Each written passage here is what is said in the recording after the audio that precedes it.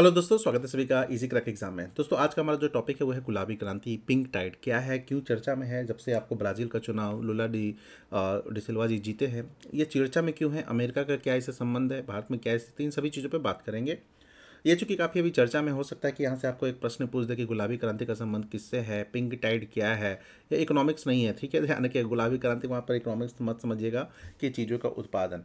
तो आइए इस बात पे हम लोग अब शुरू करते हैं चीज़ों को। पहला अगर हम लोग बात करें तो गुलाबी क्रांति है क्या? इसको समझिएगा कि वामपंथियों का, यानी लेफ्टिस्ट जो होते हैं, वामपंथी जो होते हैं, उनकी सरकार जहाँ पर बनती यानी आपको जहाँ पर वामपंथियों का वर्चस्व स्थापित होता है, उसी को कहते हैं गुलाबी क्रांति, ठीक है? तो पिंक टाइट जिसको हम लोग कहते हैं। लैटिन अमेरिका जिसकी बात करें यानी अगर हम लोग ये बात करें दक्षिण अमेरिका के इस स्थान को तो ये सभी जो क्षेत्र है ना यहाँ पे वामपंथी सरकारें काफ़ी बन चुकी हैं। इसलिए इस महाद्वीप को हम लोग आपको वा, वामपंथी महाद्वीप भी अगर संबोधित करें तो गलत नहीं होगा। क्योंकि वामपंथियों का शुरू से ही अमेरिका विरोधी रहता है इसलिए ये वैश्विक स्तर पर कई सारे आपको यहाँ पर रणनीतियों पे काफ़ी इसका प्रभाव देखा जा सकता है। क्या है पिंक टाइट क्यों भार ले रहा है? आइए इसको समझते हैं। तो इसकी सबसे पहली लहर। पिंक टाइट का मतलब ये सिंपल समझिएगा कि वामपंथी सरकार का बनना। और ये इस समय हुआ जब आपको ब्राज़ील में आपको लूला जी जीत गए हैं और उसी के बाद से ये बहुत ही ज़्यादा चर्चा में है। आखिर लूला जी जो जीते हैं, आखिर इसके पीछे क्या कारण है, क्या कारण बना, इसका प्रमुख चीज़ों पर भी अभी हम लोग बात करेंगे, ब्राज़ील की चीज़ों को देखेंगे।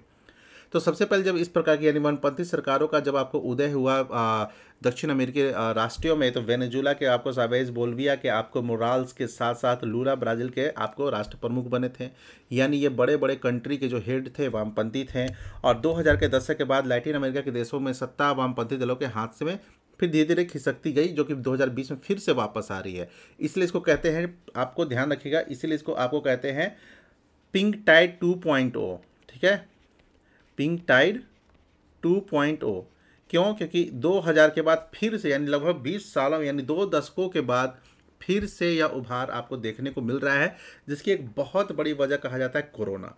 कोरोना के बाद आपको क्या होता है कि वहाँ पर जो भी पूंजीपति या फिर जो पूंजीपति सपोर्ट करते थे, जो कैपिटलिस्ट थे, उन लोग का मानना था कि निजी सपोर्ट करना, निजी व्यापार को प्रोत्साहन देना।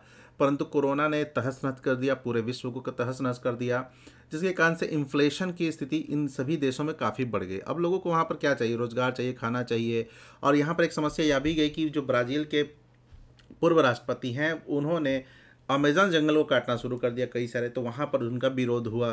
तो जो सबसे बड़ा कारण अगर बनता है, वो होता है आपको इन्फ्लेशन एंड कोरोना इसके बाद लोगों की स्थिति, जो आर्थिक स्थिति बिगड़ती है, फिर लोग चाहने लगे कि भाई फिर से हमारी सरकार 2000 वाली आ जाए, यानी वामपंथी लेफ्टिस्ट जो है, आपको वहाँ पर आ जाए।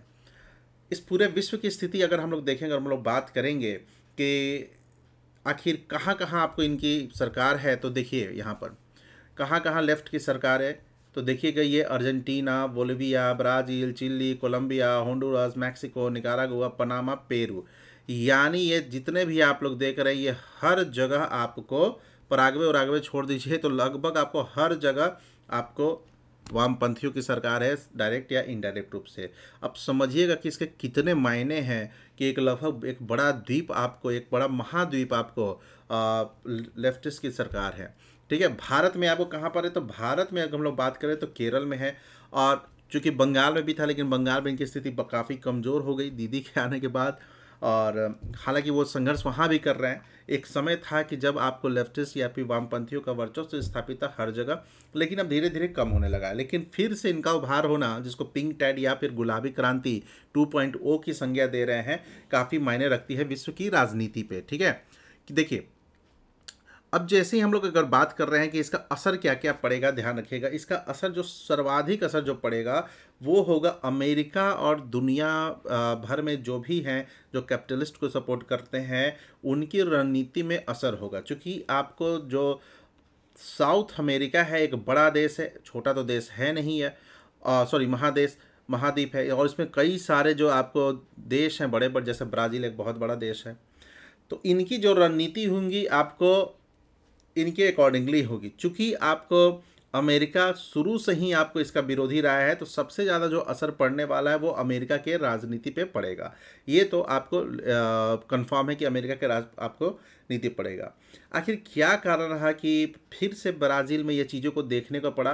तो आपको जो इनके पूर्व राष्ट्रपति हैं, आपको बोलसोनार जी, उन्होंने आपको क्या किया कि इन्होंने प्राइवेटाइजेशन को थोड़ा सा बढ़ावा देने की कोशिश की निजीकरण जिसको कहते हैं, ओपन मार्केट की आपको ये सब चीज़ों की स्थापना की। इवन आपको पर्यावरण संरक्षण, जो कि आज का विश्व का सबसे गंभीर मुद्दा है, उसको भी दरकिनार करते हुए उन्होंने अंधाधुर पेड़ कटाई की शुरुआत कर दी, जिससे जैव विविधता का भी कभी ह्रास हुआ। इन सभी कारणों से चूँकि लोगों की स्थिति काफ़ी डाउन हो रही थी, इन सभी कारणों से उनकी हार हुई, और उसके बाद आपको वामपंथी लूला डी सिल्वा का उभार होता है आपको लैटिन अमेरिकन देशों में। और इसके जो रणनीति है, भारत के संदर्भ में अभी केरला जो है अपना वर्चस्व स्थापित किए हुए लेफ्टिस्ट में, बंगाल में अभी संघर्षरत है।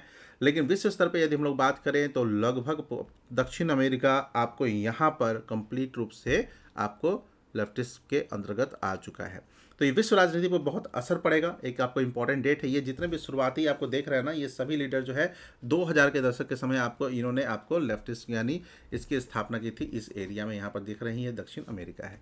तो जो अभी लूला हैं, इनके बचपन की चीज़ों को मैंने यहाँ पर ढाल दिया है कि शुरुआत में वही गरीब मतलब हैं, पढ़ाई शुरू में नहीं हो पाई थी, उसके बाद ये काम करने लगे, मैं आपको मेटल के फैक्ट्री में काम किए, उसके बाद आंदोलन में ये थोड़ा सा चेहरा बने, उसके बाद आपको वर्कर्स पार्टी को बुनियाद रखी, फिर जाकर आपको लेफ़्ट की राजनीति में इनको आपको देखे होंगे। तो चूँकि ये पहले भी राष्ट्रपति थे, आपको पहले ही पता होगा।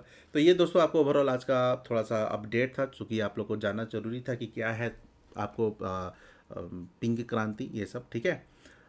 वही अमेरिका पे असर पड़ेगा, वो मैंने आपको बता दिया कि अमेरिका को असर पड़ेगा, ये क्या क्या है, ठीक है? तो मिलते हैं हम लोग नेक्स्ट अपडेट में, थैंक यू।